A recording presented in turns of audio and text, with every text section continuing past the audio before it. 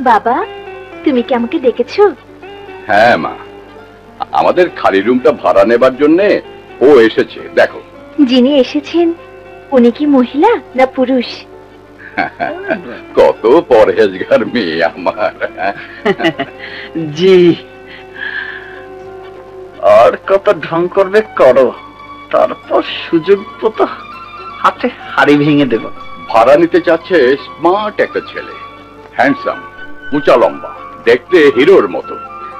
বাবা তোমাকে কতবার বললাম ছেলে মানুষ এলে আমাকে ডেকো না।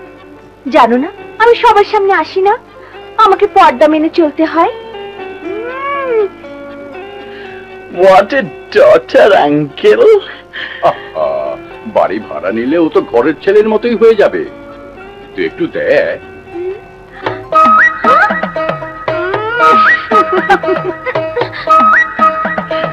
কিরে তোকে আমি কলেজ ছাড়া করতে চাচ্ছি আর তুই আমার বাড়িতে আশ্রয় নিতে এসেছিস? সরি আমি আমাদের বাড়িতে কোনো ব্যাচেলার ভাড়া দিতে পারব না। তুমি অন্য কোথাও যাও। হ্যাঁ। আমি আসি বাবা। এক্সকিউজ মি ম্যাডাম ম্যাডাম আমি এখানে রিকমেন্ডেশন নিয়ে এসেছি। বাবা তুমি ওনাকে বলে দাও। এখানে কারও রিকমেন্ডেশন গ্রহণযোগ্য নয়।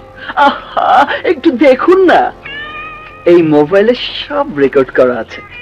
আপনারা বাড়ির ছাদের উপর বসে কি কি করেন সব কিছু রেকর্ড করা আছে। কি? জি। আঙ্কেল যদি শুনে আপনি রাতভর ছাদে বিয়ার খেয়ে আমাকে খুনের প্ল্যানিং করেছেন। তাহলে? না না বাবা ওর রিকমেন্ডেশন খুবই গুরুত্বপূর্ণ। জলদি ওকে চাবি দিয়ে দাও। জি। মেয়ে যখন বলছে তখন আর আমার রুম ভাড়া দিতে কোনো আপত্তি নেই। আলহামদুলিল্লাহ।